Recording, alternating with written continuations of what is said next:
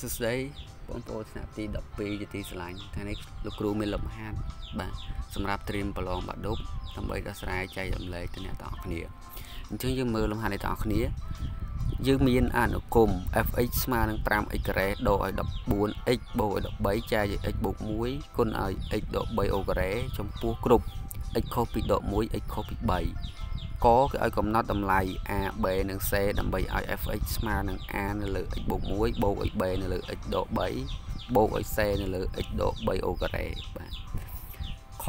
កណនីអង់ដេក្រាល i គឺស្មើអង់ដេក្រាលមិនកំណត់នៃ fx dx បាទអញ្ចឹងអ្នកនរគ្នាអាច stop វីដេអូនឹងហើយសាកល្បងលើមើលបាទហើយចាំទីមទាត់ចម្លើយជាមួយនឹងខ្ញុំបាទនៅចុងវីដេអូបាទអញ្ចឹង ចម្លើយបាទតាមដានទាំងអស់គ្នាអញ្ចឹងកគឺយើងអាចសរសេរមកថា កំណត់តម្លៃ A B និង C បាទកំណត់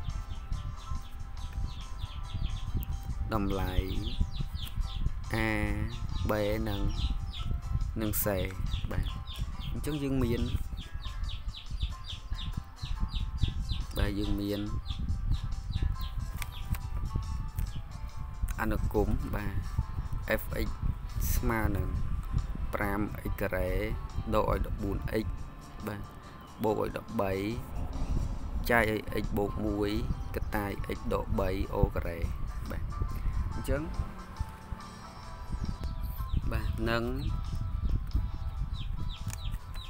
បាទ fx ស្មើនឹង a ចែកឲ្យ x បូក1បាទ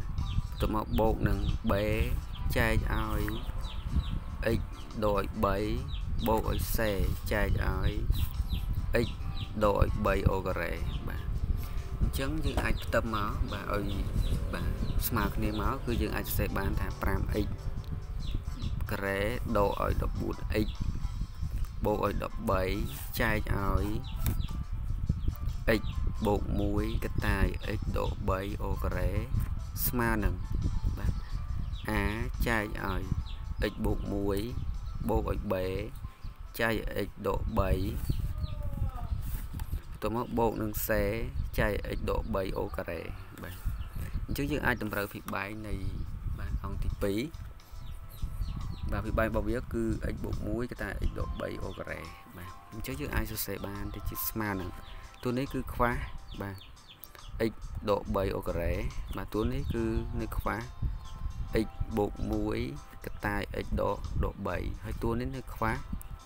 x បូកបូក1បាទបន្ទាប់មកចែកឲ្យបាទចែកឲ្យ x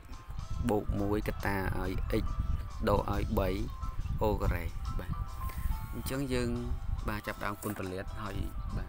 ទៅមេគុណដែលត្រូវគ្នា អញ្ចឹងយើងអាចសរសេរបានដោយយើងសរសេរយកតែភិយកមកបាទដោយសារតែភិបែងដូចគ្នាហើយបាទសមភាពរបស់យើងអញ្ចឹងយើងអាចសរសេរបានបាទសរសេរបានថាបាទសមមូលនឹងខាងនេះគឺយើងអាចសរសេរប្រធានមកវិញបាទគឺសរសេរអង្គទី1មកវិញគឺបាទបូកឲ្យ13ចែកឲ្យ x បូក1តែ x ដក3អូការ៉េបាទអញ្ចឹងយើងអាចលុបភិបែងយើងទុកតែភិយកបានហើយអញ្ចឹងយើងបាន 5x ការ៉េដកឲ្យ 4x បូកឲ្យ13ស្មើនឹង a កតែ x ដក3អូការ៉េបូកឲ្យ b កតែ x បូក1កតែ x ដក3បូកឲ្យ c កតែ x បូកបូក1បាទអញ្ចឹងយើងថាបាទបើ x ស្មើ3 អញ្ចឹងនាំឲ្យគេបានបាទគេបាន4សេដោយសារតែយើងយក3មកចំនួនទៅ3ដក3គឺ0បាទខាងនេះ3ដក3គឺ0អញ្ចឹង3បូក1គឺ4អញ្ចឹងបាន4សេស្មើនឹងយើងចំនួន3ចូលខាងនេះមកបាទគឺយើងបាន16អញ្ចឹងនាំឲ្យសេស្មើនឹង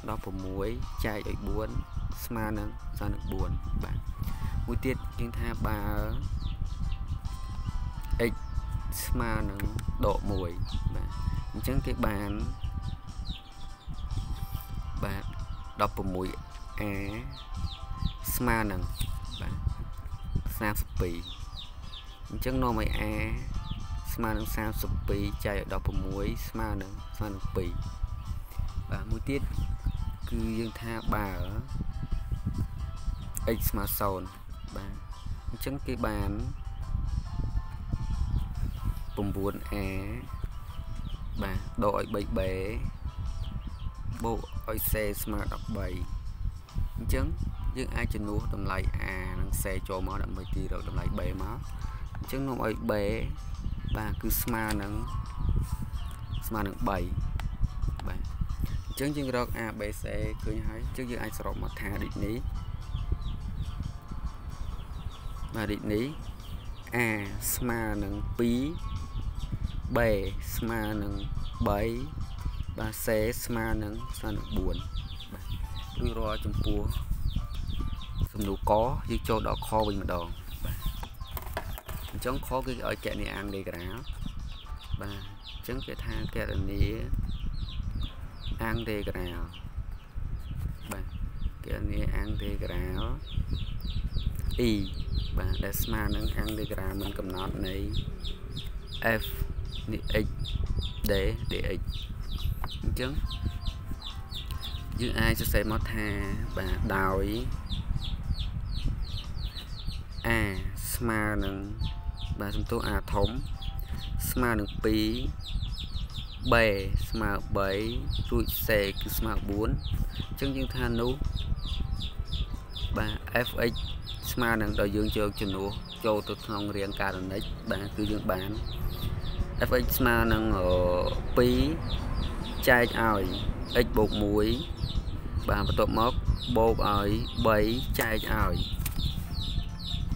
x ដក1បាទបន្ទាប់មកបូកឲ្យ4ចែកឲ្យ x ដក3អូការ៉េបាទអញ្ចឹងនៅឲ្យគេទាញបានបាទ e ស្មើនឹងអាងដេក្រាមិនកំណត់នៃ2ចែក x បូកឲ្យ1បាទបន្ទាប់មកបូកឲ្យ3ចែកឲ្យ x ដកឲ្យ3បន្ទាប់មកបូកនឹង4ចែកឲ្យ x ដក3អូការ៉េបាទ d dx អញ្ចឹងយើងអាចអាំងដេក្រាមកបាទគឺយើងបានស្មើនឹង2លិនតម្លៃខាងនៃ x បូកនឹង1 បាទបូកនឹង3គុណឲ្យលិនតម្លៃខាងនៃ x ដក3ទៅមកដកនឹង4ចែកឲ្យ x ដកដក3បូកនឹងសេ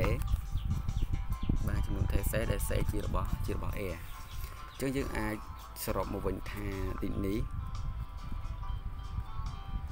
បាទ i គឺស្មើនឹង2គុណលិនតម្លៃខាងនៃ x បូក1បូកឲ្យ3គុណលិនតម្លៃខាងនៃ x ដកឲ្យ3 ដកឲ្យ4ចែកឲ្យ x ដកឲ្យ3បាទបន្ទាប់មកបូកនឹងសេដែលសេជារបស់ជារបស់ a បាទអញ្ចឹងនេះគឺជាដំណោះស្រាយនៃលំហាត់បាទត្រៀមប្រឡងបាក់ដប់ហើយក៏សូមឲ្យអ្នកទាំងគ្នារៀនធ្វើដោយខ្លួនឯងសារទៅវិញបាទសិនជាមិនចូលត្រង់ចំណុចណាអាចខមមិនសួរខាងក្រោមសូមកុំភ្លេចជួយចុច like ជួយ subscribe ឆានែលខ្ញុំបាទផងដើម្បីទទួលបាននូវវីដេអូគណិតវិទ្យាថ្មីៗពី channel របស់ខ្ញុំបាទសូមអរគុណសូមជម្រាបលា